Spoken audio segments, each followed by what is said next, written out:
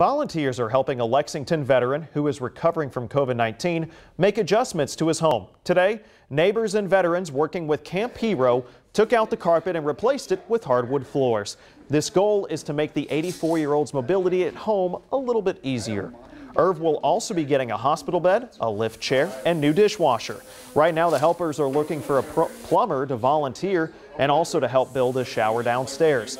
Camp Heroes founder says that they will cover the, co the cost of the supplies of the construction, and this is a reminder as anyone can help a neighbor, even if it's something small.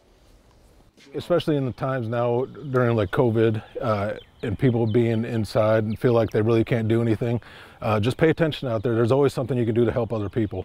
And that's what I've been able to do. And once I've opened up my eyes and started seeing opportunities to help others, and um, I've noticed I've been able to you know, make a difference even just doing small things.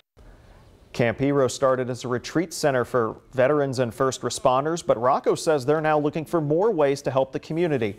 During the recent ice storms, he was driving nurses to the hospital for their shifts, and he also helped deliver eight 11,000 water bottles to Owsley County. We've got more information about Camp Hero on our website, lex18.com.